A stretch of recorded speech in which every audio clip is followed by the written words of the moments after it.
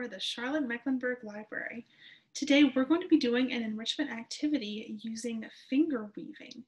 Now, normally whenever you weave or knit, you use needles or a loom, but to do finger weaving, you're only going to use your hands. So a few things you're going to need though are some yarn. Any kind of yarn is fine. It can be any thickness or any color that you like. And you'll also need a pair of scissors.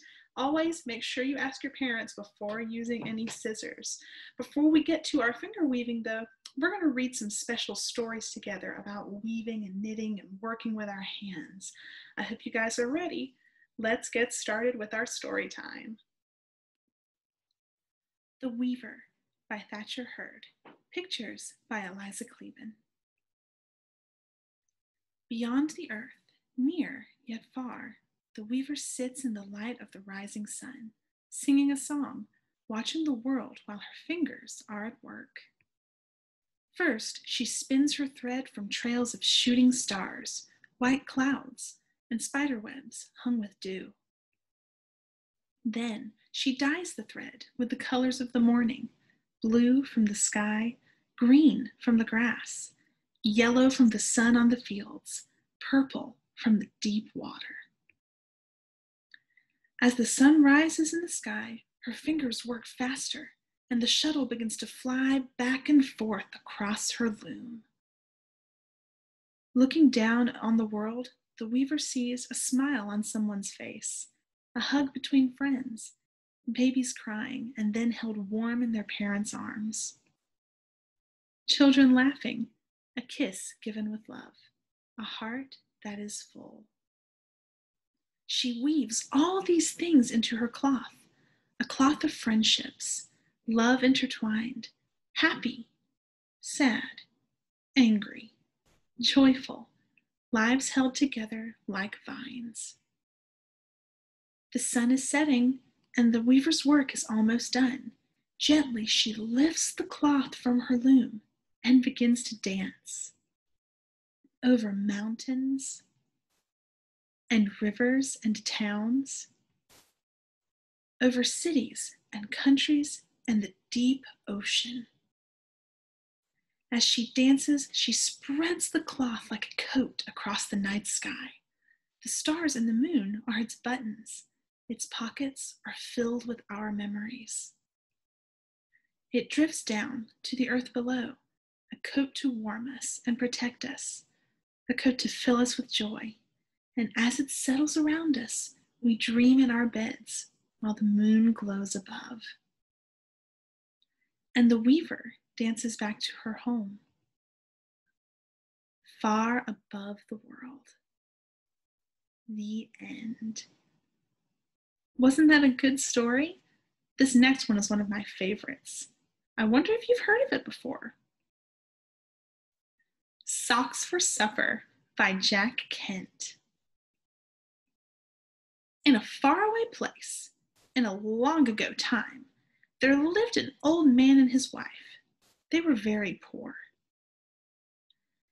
All they had was a tumble down house and a tiny turnip garden. One day he said to his wife, One can get tired of eating nothing but turnips.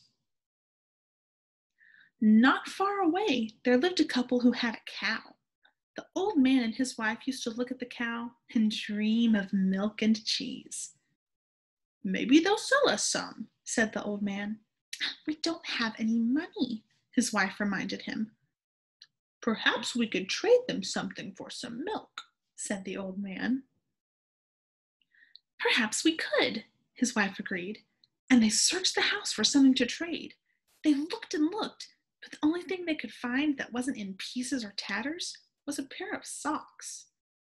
The old man took the socks and went to see the couple who had the cow. A little while later, he came happily home again with a bucket of milk and a small cheese. This is so good, said his wife. It wasn't long before they began to wish they had some more, but they didn't have any more socks to trade. I will knit some, said the old woman but she didn't have any yarn. So she unraveled part of the old man's sweater and knitted a pair of socks with that. They again traded the socks for milk and cheese and feasted as they did before. When it was all gone, the old woman knitted another pair of socks, and once more the old man traded them for milk and cheese. Yum! When that was gone, the old woman started knitting again. But there was now only enough yarn left for one sock. What good is one sock? the old woman asked. They won't trade any milk or cheese for that. We'll see, said the old man, and he took the sock to the couple with the cow. I only have half a pair of socks this time, he said. Would you trade half a bucket of milk and half a cheese for this? Oh, no, that is not necessary, said the farmer. You see, said the farmer's wife, one sock is exactly what I need. She was knitting her husband a sweater for Christmas. She'd gotten the yarn for it by unraveling the socks, and she needed just one more to finish the job. But the sweater didn't fit. So the wife gave it to the old man, for she had noticed he didn't have one. And it was just the right size. The end. Weren't those stories really fun? Well, now I think it's time for us to do some weaving and knitting of our own. But remember, we're just going to use our hands. Now, I hope you got your yarn and your scissors. If you need to pause the video to go and get those, now's the time to do it. Otherwise, let's get started on our finger weaving.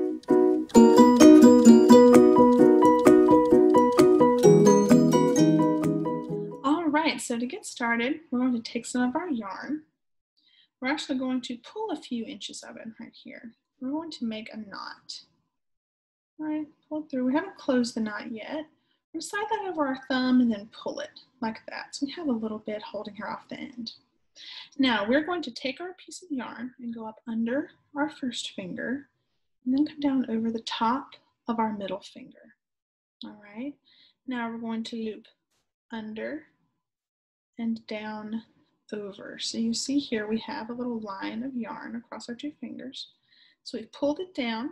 We're going to come back up in between them, go over the middle finger, reach under your middle finger, and back over that first finger. So what you'll notice here is you have one, two, and one, two. There are two pieces of yarn on both of those fingers. We're going to grab the bottom loop of yarn and pull it over the top of your finger. You literally just pull it over you lift it, you can scoot your finger underneath there. So now we have only one piece of yarn here on our fingers. So we're gonna pull that piece of yarn again in between and go over our middle finger, come back up, and over our first finger. So now we have those two again. Grab the bottom one that's closest here to your palm, pull it over the top of your finger. Bottom one, pull it there over the top, all right? We've got our two, we need two more. So we come over our middle finger, up between the two fingers, back down over our first finger. So we have those two. Grab the bottom one, pull it over the top, grab the bottom one, pull it over the top. All right, we're gonna keep doing this where we go over and under for a little bit. Now it's okay if your yarn starts to kind of slide up and down your fingers, you can just push it back down. Come up in the middle, go over and over. Remember, always pull from the bottom. Don't pull the top one, or it's just going to come unraveled. Go over that middle finger, over the first finger. Here we go. And you'll keep doing this for however long you want to make your necklace. Just remember, always, like I said, pull from that bottom piece of thread over the top, looping over and over. Here we go. We'll just do a couple more and we'll be done with this one. All right, last one, over, over, here we go. Grab bottom one, pull it over the top, grab the bottom one and pull it over the top. All right, so we're gonna pull a few inches of thread now from the end. So we have all this looped here around our hand. This right here is just here from the edge. We're gonna pull it and now we're gonna use the scissors to cut it. Remember, make sure you ask permission before you use the scissors. Now you have these two loops right here on your fingers. You're gonna pull the first one off, holding on to it. Now you're gonna reach over and pull the second one off. So you're holding the two circles here next to each other. Take your piece of thread that you just cut.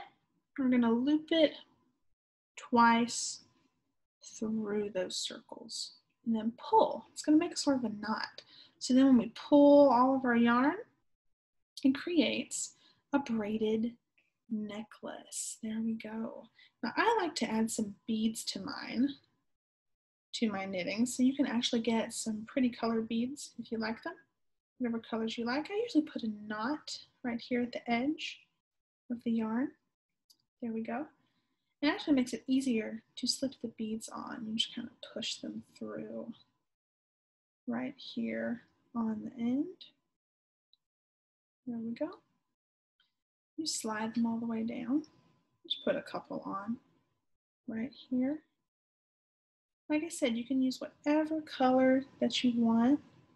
You can use and make it as long or as short as you want. You can keep weaving to make a longer necklace. Mine's a little bit shorter for today. There we go. Just pull the yarn through right there. I'll put a couple on this side. Let's see. Push it through right here. So that it matches, it's even on each end. Oh, there we go. Pull it. And we'll knot it again here at the end so it doesn't start to unravel. All right, so here we have our necklace. Then you go to tie it on. You can just tie the top into a bow right here to connect it. There we go.